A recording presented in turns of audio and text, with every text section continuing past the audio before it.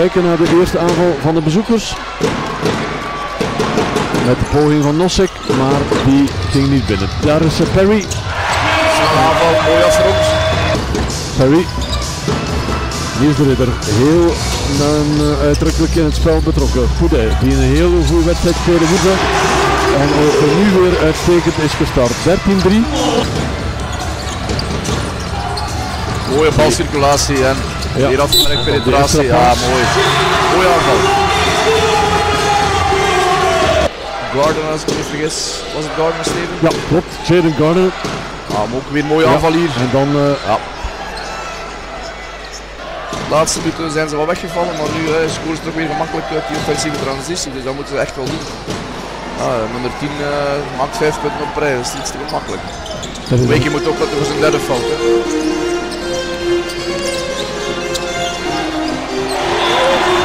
Hele mooie beweging van Niels de Ridder. Jules Isebaard op het terrein.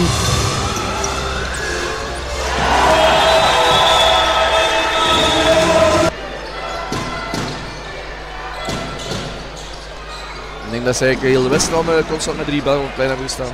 Ja, klopt. En af en toe een tegenprik aan de overkant met een WK 44-30. Ja.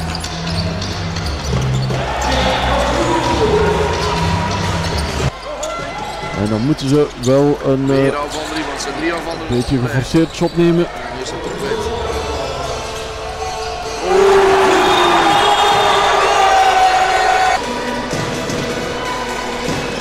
Zo, daar is eh, Gardner.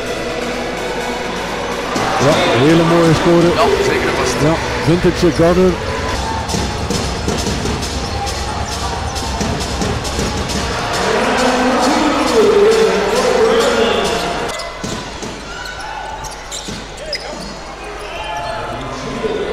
Ja, ik denk dat we voor gaan, Steven. Ja, ja. Voilà. Daar hebben we hem. Hoe vraagt wij draaien?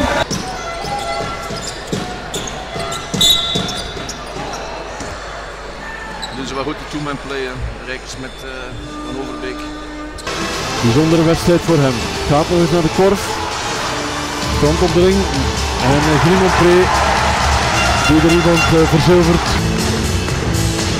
Zo maar, hè, laatste wedstrijd. Dat is eh, de ambiance nog. hè. Ja, absoluut. foto ophangen. Het was geweest. En er eh, wordt niet meer aangevallen.